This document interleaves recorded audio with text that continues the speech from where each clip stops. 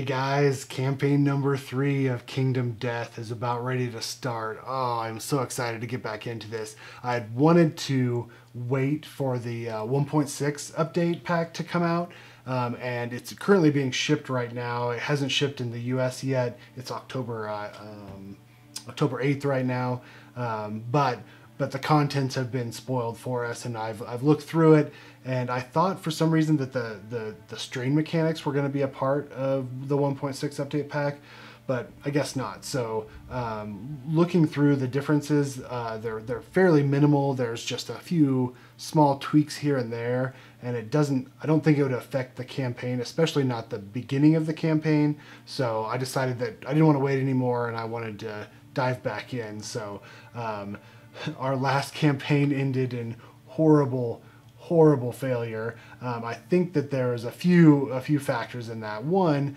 um, I tried uh, Spidicules and Drifter Knight expansions. Um, uh, they're always with new expansions. There's there's a learning curve to how to fight the monster, and um, and unfortunately that that leads to a lot of TPKs.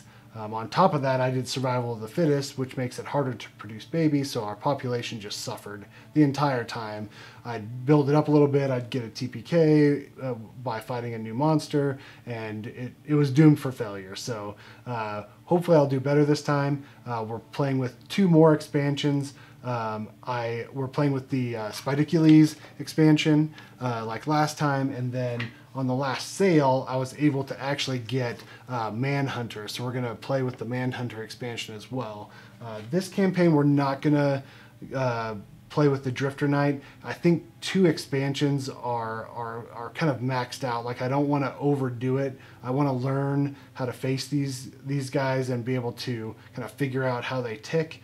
Um, and I also want to give this campaign a little bit of a chance too. And if I introduce too many uh, expansions, I feel like I'm just I'm prone to just fail. So I want to at least make it to the Watcher um, again and uh, and and go from there. So uh, with that, uh, I've set up the prologue White Lion uh, battle.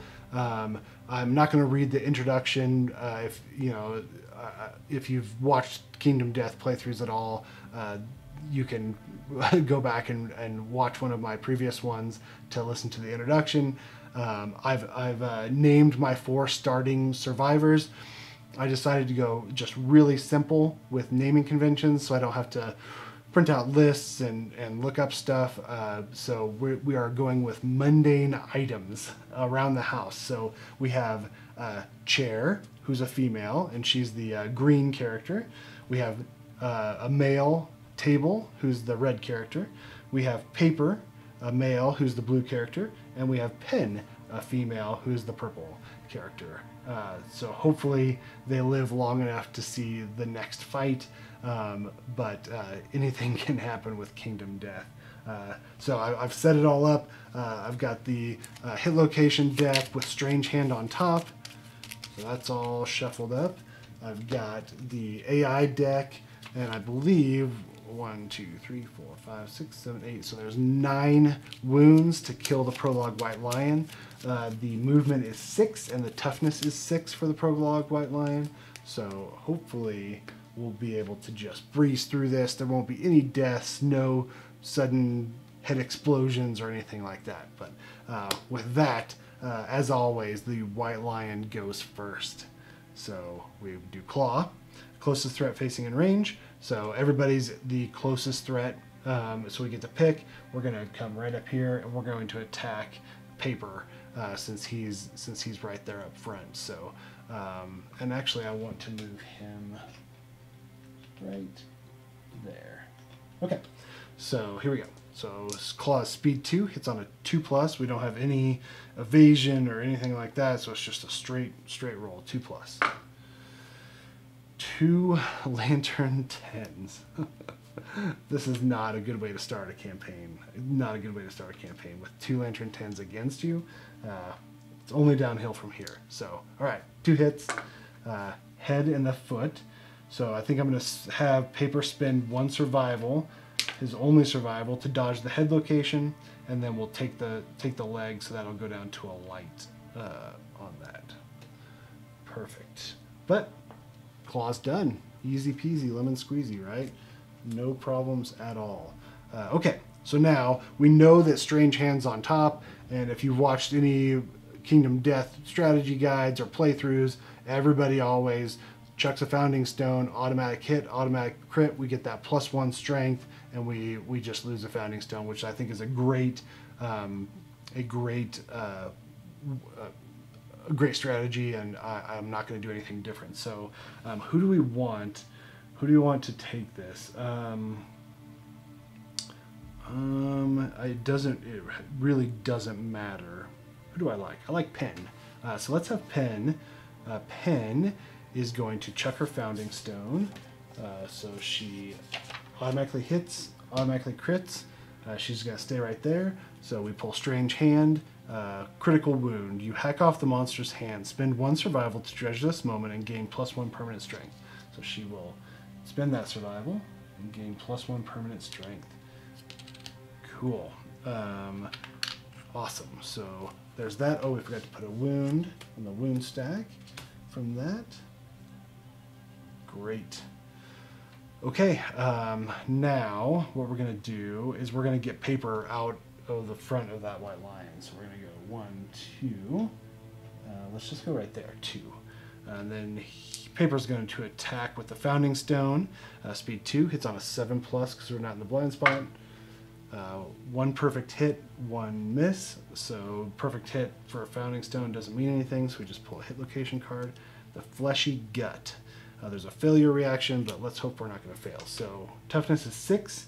Uh, strength on the Founding Stone is one. So we're going to hit on a five plus.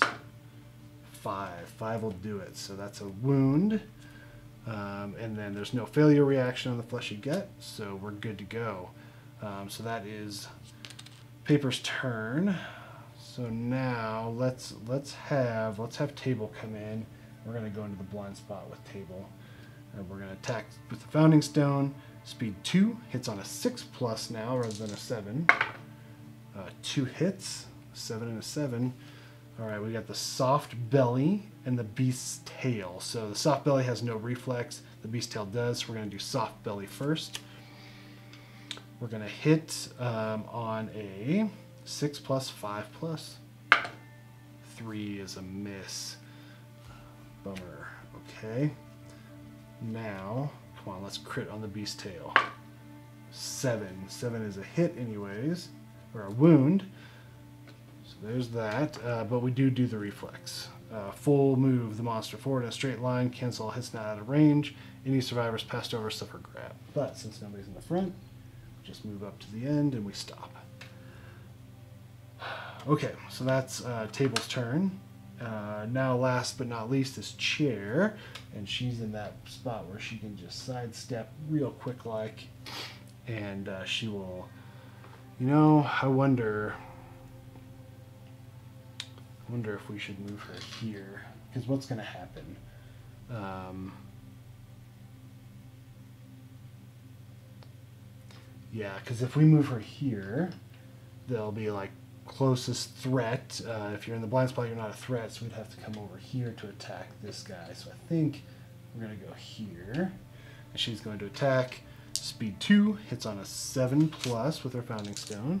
Uh, that's two hits, 8 8. Alright, the beast's brow and the beast's chest. Um,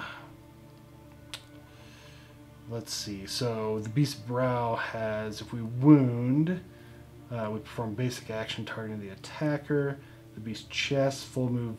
Uh, if we fail, we full move the monster forward in a straight line, so it'll slide across the side. So let's do the Beast Brow.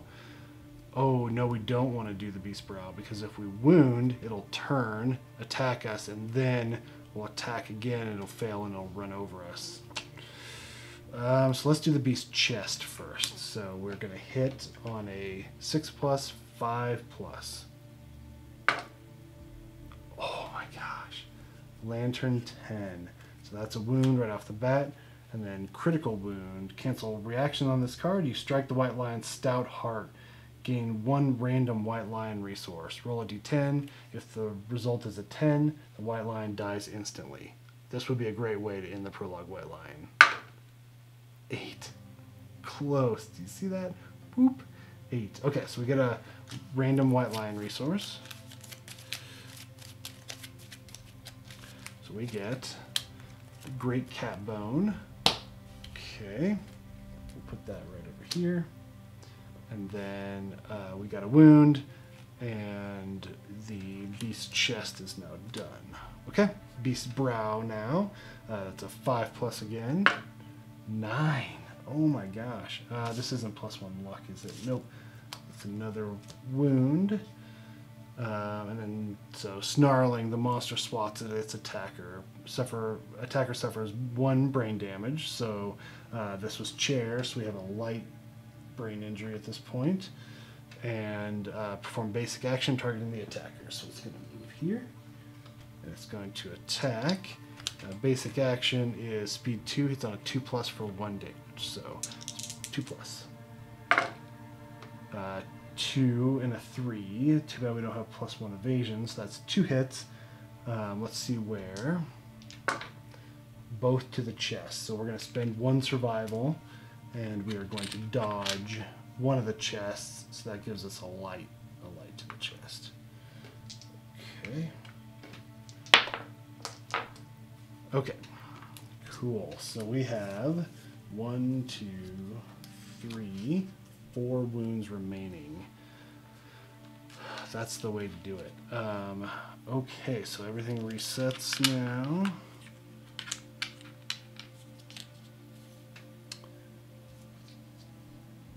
Okay, so let's pick an AI card. Enraged is a mood. When this comes into play, draw an AI card. So we'll pull this out. Uh, while Enraged is in play, the White Lion gains plus one damage token per monster level. Ooh, okay, so that's technically a, a one less wound we have to do, though, but we get a plus one damage token. And I forgot to grab my. Oh no, here they are. Let's grab the damage tokens. Plus one damage. Okay. All right, here we go. So I'm going to put this right here so it's kind of a reminder. But all right, now I draw the next AI card. Grasp. Closest knockdown survivor in range. Nope. Closest survivor in range. So that's going to be chair. Um, so we're going to speed one. Hits on a two plus. Okay. And there's no way to move out of the way. So speed one hits on a two plus. One. A one. Oh my gosh. Uh, so no damage, no after damage. We don't do the grab. Uh, so we only have two AI cards left, so we need to shuffle those up. I'll shuffle them very, very thoroughly. Okay, into the White Lion's turn. So um, it's our turn now. Let's let's try to finish this off. So let's have Pen with her plus one. No, no, no, no. Wait. Before, let's have Chair move around here. Uh, one, two, three, four. Okay. Yep. Let's have Chair move around. She's going to attack with her Founding Stone. Speed two, seven plus. Uh, so six and a ten. So that's one hit the beast's back. Uh, failure is full move forward in a straight line, but hopefully we don't have to worry about that. So uh, 6 plus, 5 plus. Oh my gosh, literally another Lantern 10. Okay, uh, critical wound. White Lion gains minus 1 accuracy token. Oh, that is great. Is super great. Accuracy. Oh, yes. Good. Uh, okay, that's a wound. We're down to two wounds. That's Chair's turn, though. Um, now, uh, so we're, we're going to get a little crowded. So what we're going to need to do is we're going to need to have Paper come in and move all the way over. He's going to attack with his Founding Stone. Speed uh, 2, hits on a 6 plus. Okay, one hit. That's all we need each time. Oh, Beast back is done. Uh, Beast's femur. The blow lands on the monster's leg. Perfect. No reactions or anything, so it's just a 5 plus. 1. So that's not going to do it. Okay. Uh, so that's uh, Paper's turn. Now, let's see. So now let's have, let's have Table come in. Boop. And attack. Speed 2, 6 plus. Uh, two hits the beast ribs, and the beast's maw. So let's do beast ribs first, because the wound is actually a good thing. So we are going to hit on a Uh, six plus, five plus. Oh my gosh. Do you see these rolls tonight? Like, oh my gosh, I cannot believe how many crits I've gotten. Maybe those double crits on the, the first roll of this campaign was a good thing. So, uh, okay, so wound. Uh, if the attacker has three plus understanding, the sound of cracking ribs is encouraging, and the attacker gains plus one survival. We do not have that understanding, so we do not understand what's going on. All right, beast maw to end it. Uh, five plus. Eight. There you go. Easy as that, guys. Kingdom Death. This game, so easy. Uh, wow, that was that was one of the easiest prologue White Lions uh, fights I've ever had in my entire entire Kingdom Death career. Um, that's awesome. Uh, so we got uh, Great Cat Bone from that. Um, boy, I'm liking the way this campaign is starting. Uh, so we are going to do Survivors are Victorious. We get out, we draw four White Lion resources and four basic resources. Okay.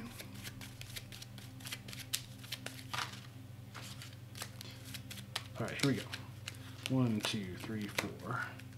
So we get uh, lion claw, white fur, lion claw again, and white fur again.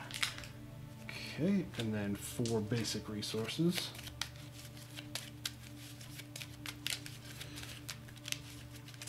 I usually lose at least one person to the prologue white lion for some reason, but um, there you have it. Uh, monster hide, monster hide, love juice, oh, beautiful, and monster hide. Okay, great. Uh, so now we start creating our settlement. Um, let's do this. And I can't remember exactly what all I need to do, so let me grab this stuff. Okay, so uh, I'm just going to read through it uh, just as a reminder. It's been a little while since I've done the very first uh, uh event, so we're going to set up um, below the settlement name. Okay, so we have to name the settlement. Uh, what are we going to name this settlement, guys? Um, let's name it.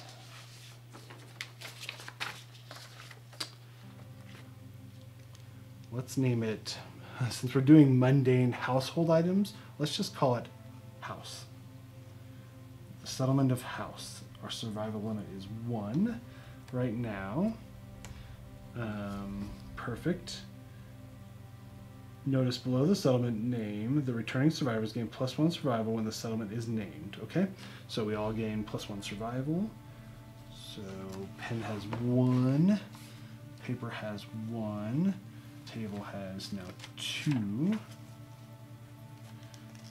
and um, chair has two. I think, do we start out, so we start out with one. Is our max settle? Is our max survival one right now? I can't remember. Uh, I'll look that up later.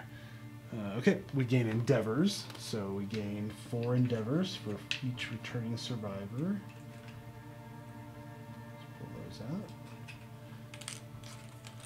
Okay, we update the timeline, so we are now in Lantern Year One. So we now trigger returning survivors. So let's look that up real quick. Returning survivors. Nominate the survivor. Uh, okay, so nominate a survivor to utter the first words. Um, let's let's do Pen because she's already got that plus one strength. Um, we are going to do that. So the nominated survivor steps forwards and gains plus one courage. Okay.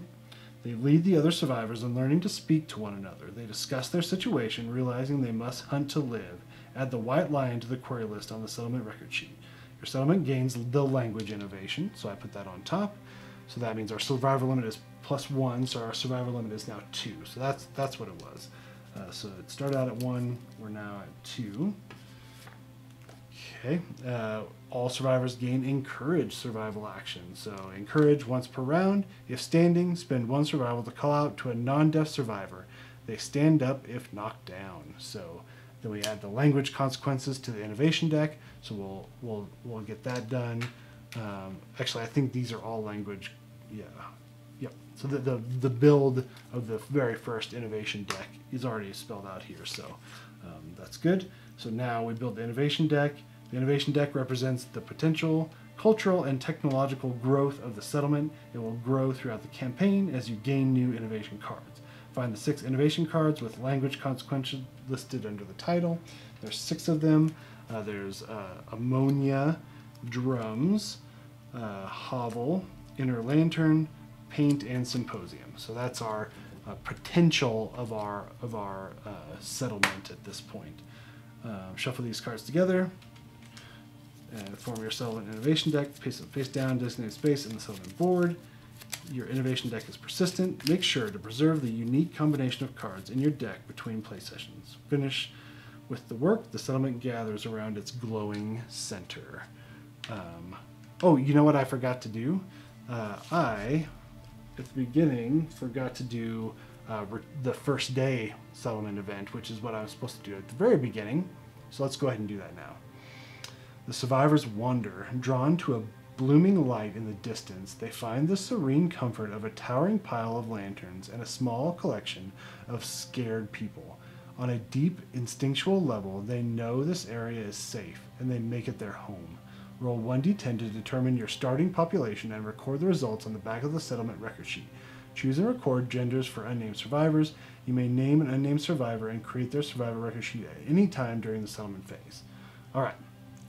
If we anytime we need to roll a d10 and get a 10, this is it.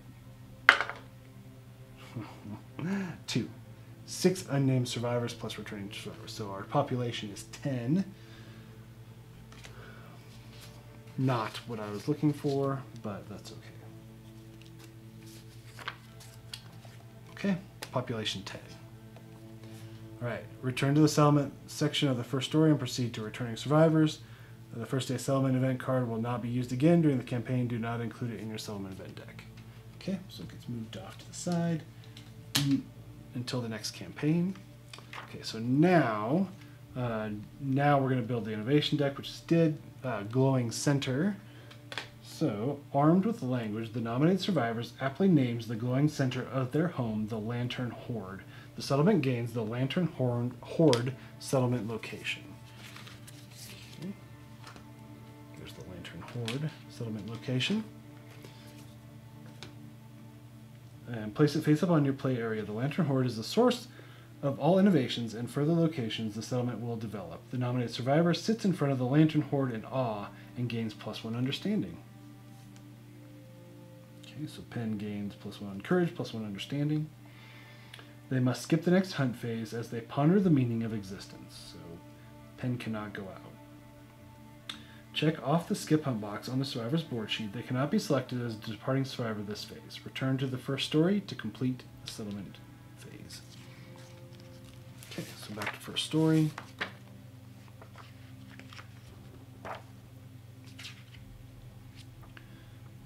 Okay, so we've triggered uh, story event returning survivors. Update the death count. We don't have any this time. Uh, check milestones. Uh, we haven't had baby, haven't made babies. We haven't died, so there's no death principle. Uh, so now we can develop. So um, we have four endeavors. Uh, the Lantern Hoard is pretty straightforward. Uh, we want to build the Bonesmith, the Skinnery, and the Organ Grinder. So let's go ahead and do that. So that's going to be three of our innovations.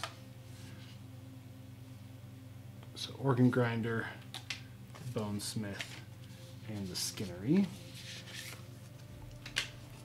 Okay. Then we have one innovation left. I wonder if we can innovate. Um, I wonder if we should innovate here. That's the. So we only have one organ. And that's the love juice. I'm thinking we should probably use that to make a baby. So we have tons of hide and bone. Oh, this is almost the perfect makeup. So, okay. So let's not, we're not going to innovate at this point. and I think I said they're innovations. They're endeavors, not innovations. So sorry about that. Uh, okay, so let's let's do this. Let's first off, um, let's trigger intimacy by using the love juice. All right, let's do it. Intimacy. Nominate one consenting male and one consenting female survivor and roll on the intimacy table below. So let's do let's do paper. Oh, I should have done paper and pen. That would have been perfect. But uh, pen is plus one strength, and and she's skipping the next hunt. She's got that courage and understanding. I don't want to use her right off the bat. So let's do let's do chair and table. They're they're a fitting couple, I think. Um, so let's have they are nominated for intimacy. They're consenting adults. So let's uh, roll a d10 on the table below. Oh no.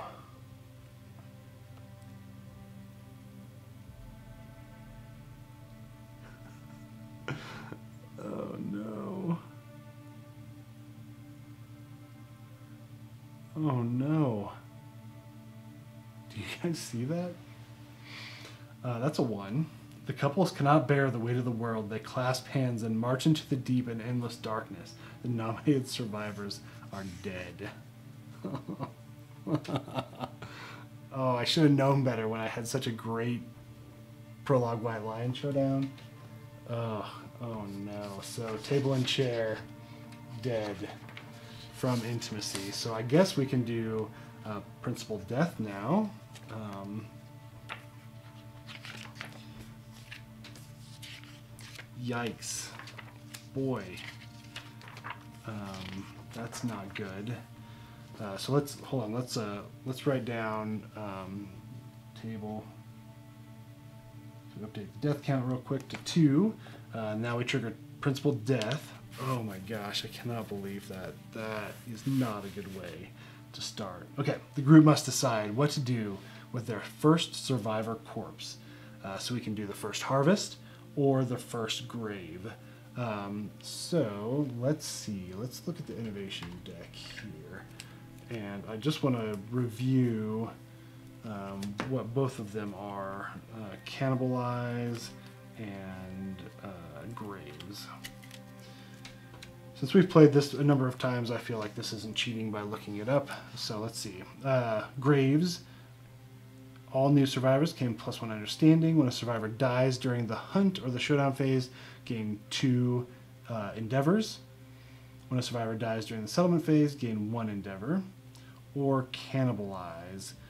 Um, cannibalize, you gain plus one survival limit. Whenever a survivor dies, draw one basic resource.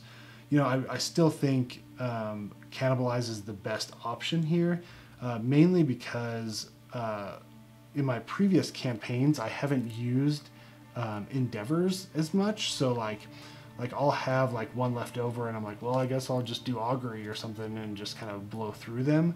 Uh, maybe I need to look into how better to utilize those, but I think we're going to pick cannibalize. I think that's going to be our our way to go here. So we've picked cannibalize. So we now do the first harvest. The settlement decides to harvest the body for resources. The settlement gains death principle cannibalize.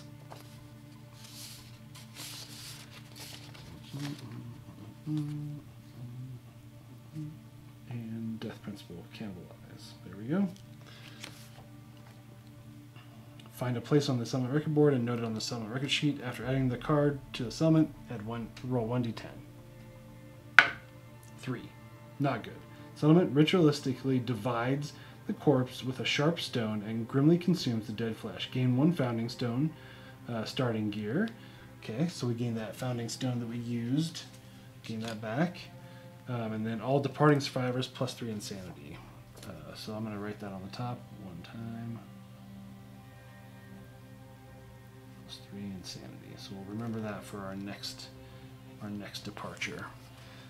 Okay. Bummer. Yeah, I would love to do plus one permanent speed. That would have been epic, but all for naught. So, okay, so we, our population is now 8 instead of 10, uh, which is not great.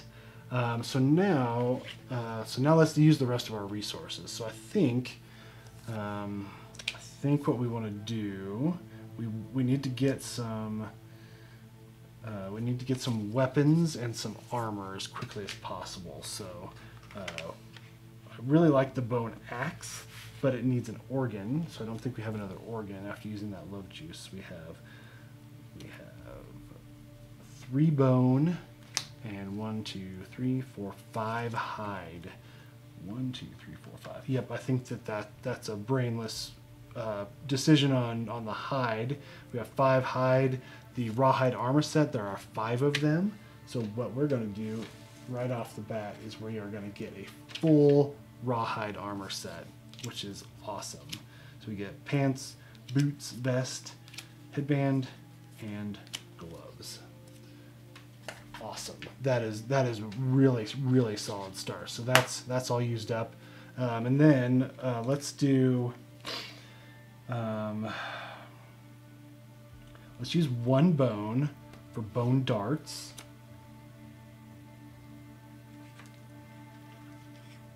And, I, and the reason why I'm doing bone darts uh, over something else is because uh, the white lion has the this card, this this mood card that he flops over on his side, and then if you hit him, if you wound him, then he jumps up and attacks everybody around him. So it helps to have that little bit, that one range weapon that can kind of blink at him from a distance. He doesn't attack anybody. And it's good to just have it just in case. So that's a good, solid starting item. I feel that it's really cheap.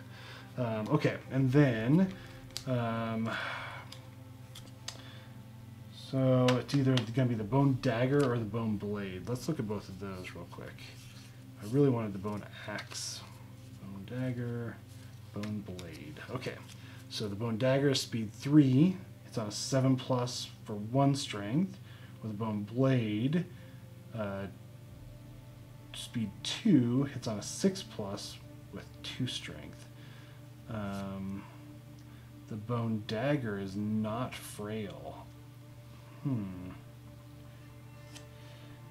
Let's just do one of each. I think that we'll just try it. Um, I think I've mainly gone with gone with the bone blade, just because of that two strength.